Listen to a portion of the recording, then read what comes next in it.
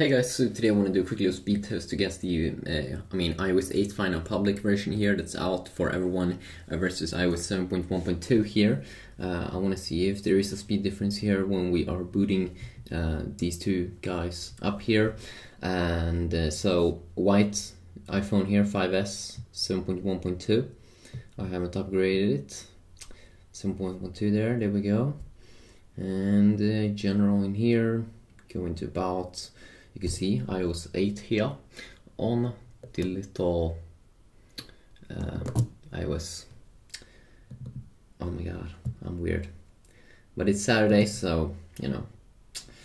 Uh, of course, there are things like keyboards and stuff like that that I'm probably gonna go over in other videos, like differences, uh, which is pretty cool. That you can have pretty cool keyboards inside of iOS 8, and I might do a video uh, comparing that a little bit against the stock keyboard, but let's just uh, when they don't have anything open up to see how they are stacking up in speed.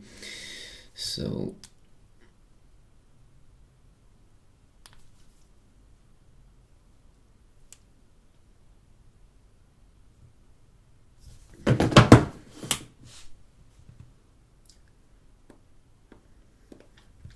I'm just gonna let them boot down here.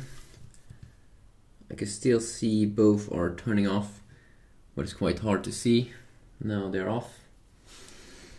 Okay, so let's go. Hmm. The fuck, bro? Wow, that's annoying. I guess we have to restart that one. That was a fail. Oh my god. God damn, sometimes you fail. Sometimes you fail hard.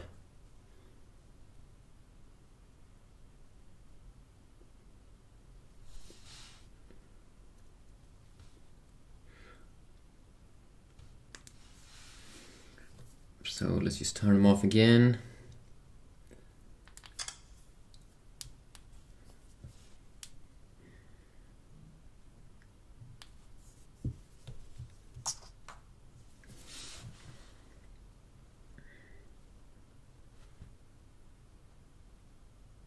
It looks like it did turn off faster this time on both. Uh, I'm very very annoyed with Apple uh, when that little spinning thing is very very hard to see it on camera. But no, they're off. Okay, so let's do this.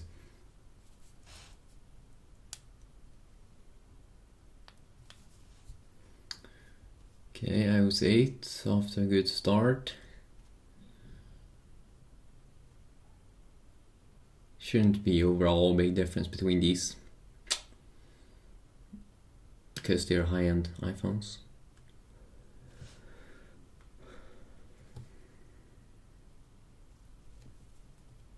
So it looks when we're booting up here that it is actually slightly faster.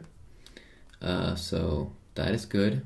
Uh, but of course that's just to boot up here and um, I do have this one I was probably still will keep iOS 7.1 here so I can do some comparisons uh, with apps and uh, and things like that a little bit more because that could be some fun things there to check out if we see any difference.